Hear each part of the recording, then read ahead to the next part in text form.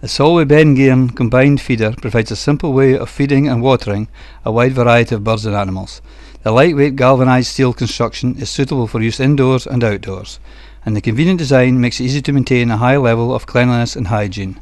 The drinker is easy to fill and operate, and once filled, the 8 litre header tank feeds the trough below, which is kept at a constant level by a simple ball cock.